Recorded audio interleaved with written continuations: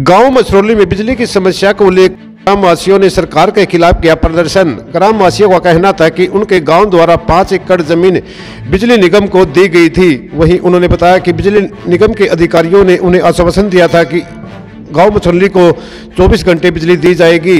ग्रामवासियों का कहना था कि बिजली विभाग द्वारा उनके मीटर भी बाहर पोल पर लगा दिए गए हैं और उन्होंने बताया कि अब दिन में और रात में कुल मिलाकर उनको दो घंटे से भी कम बिजली दी जा रही है और उसमें भी कई बार कट लगाए जाते हैं। वहीं उन्होंने बताया कि रात को तो मच्छर काटते हैं और पीने के पानी और पशुओं को नहलाने और पानी पिलाने की दिक्कतें उनके सामने आ रही है।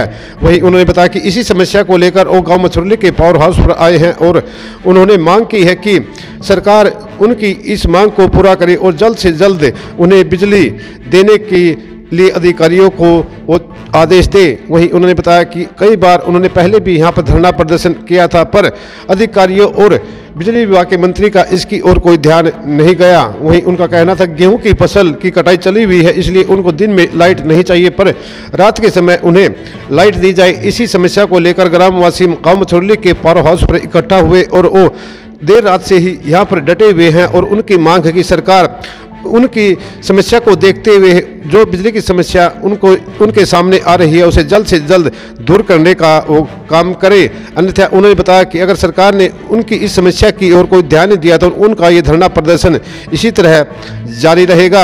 आपको बता दें कि तीन दिन पहले भी गाँव मथुरली के लोग पावर हाउस पर इकट्ठा हुए थे और बिजली विभाग के खिलाफ उन्होंने प्रदर्शन भी किया था और अधिकारियों द्वारा उन्हें आश्वासन दिया गया था उनकी इस समस्या को जल्द ही दूर किया जाएगा, पर तीन दिन गुजर जाने के बाद भी समस्या जो की त्यों बनी हुई है। ये बिजली का जी बिजली को समस्या गाँव के चलते हुए, गाँव के नाम पावर हाउस है। गाँव ने ज़मीन दी हुई है। मेरे प्लान में मैं एक सरपंच हूँ, बलराज तुसमड़ मेरे प्लान में ये पावर हाउस का उद्घाटन हुआ था।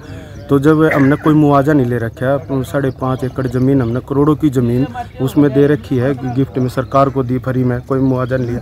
तो बिजली नहीं दे रहे हैं।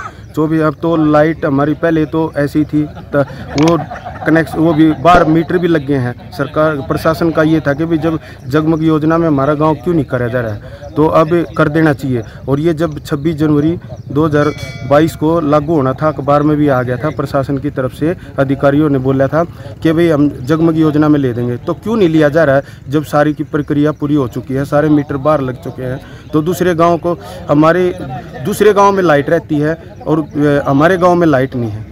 तो ये बड़े बच्चे भी मच्छर खा रहे हैं। बहुत बहुत समस्या हो रही है। इन्वर्टर नहीं काम कर रहे हैं। दो घंटे मुश्किल से 24 घंटे में दो घंटे मुश्किल से लाइट चलती है।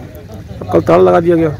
तो ताला तो प्रशासन ने जी, मैं सरपंच रहा हूँ, मुझे एक एक बच्चे का पता है, बड़े बुज़ुर्ग का पता है, मुझे बहुत, मेरे गाँव के जो लोग हैं, बहुत सम, सामाजिक लोग हैं, पढ़े लिखे, बहुत अच्छे लोग हैं, गाँव को अंडा में मैं इनकी तारीफ़ करूँ तो ये बहुत अच्छे लोग हैं, लेकिन इन्होंने ताला लगाया जब सर से ऊपर पानी हो गया, ये हो गया कि भाई अब नहीं पार बसाई कोई सुनता नहीं, कोई भी बात इस तरह, अब भाई लाइट दो लाइट दो, अब ये अपनी चलाते हैं, जो यहाँ कर्मचारी हैं, इनकी तबादला होना चाहिए यहाँ से, पूरे गाँव का डिमांड है ये।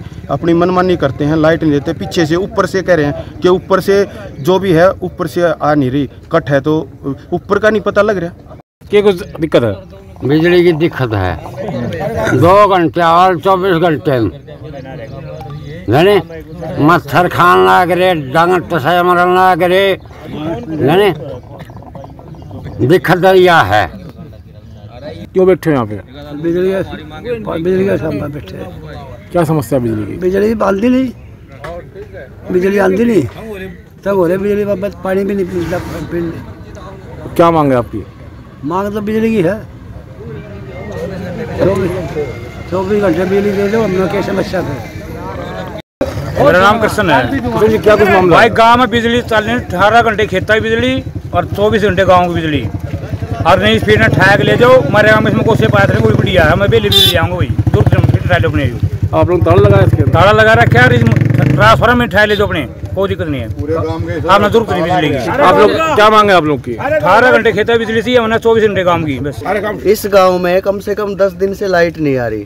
इसी गाँव से इंडस्ट्री की लाइट गई है, वो 24 घंटे चल रही है।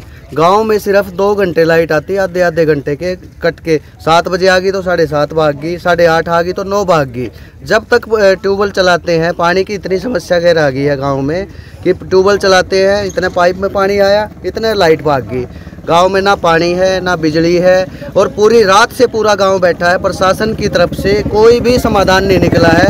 एस डी आए हैं, वो अपनी बात पे अड़े हुए हैं कि जी हम तो छः घंटे देंगे हम तो दो घंटे देंगे हम तो तीन घंटे देंगे। हमारी मांग ये है कि जब भी पावर हाउस में लाइट आए हमारे गाँव में लाइट नहीं जानी चाहिए। किसी की भगाओ किसी की भगाओ किसी की लाओ हमें कोई मतलब नहीं।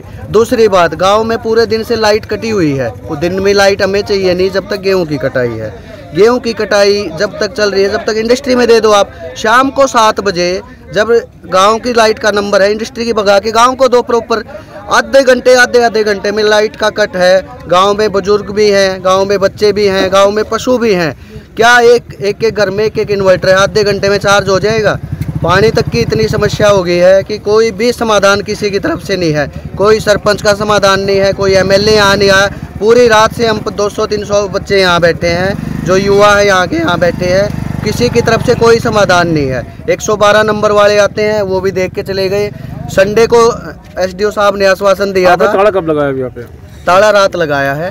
जब जब इंडस्ट्री में लाइट चल रही थी गाँव में लाइट नहीं थी जब ताला लगाया है।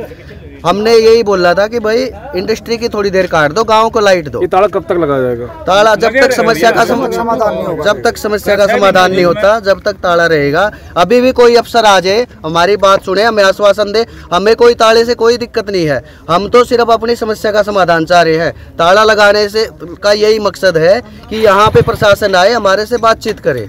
समस्या का समाधान नहीं होगा तो क्या कुछ करोगे? हम बैठे जी यहाँ पे और इसके अलावा हम क्या करें? आप हमारे को बताओ। समालका से सिटी तहलका के लिए रतन लाल की रिपोर्ट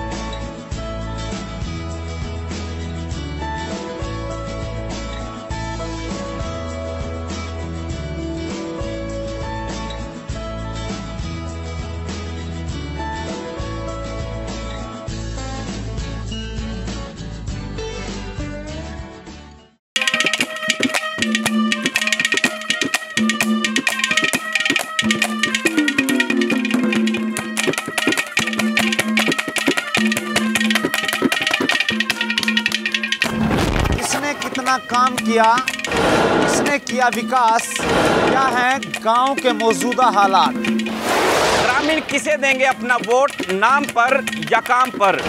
पूछेंगे हम, बताएँगे आप। खास कार्यक्रम, पंचायती सरकार।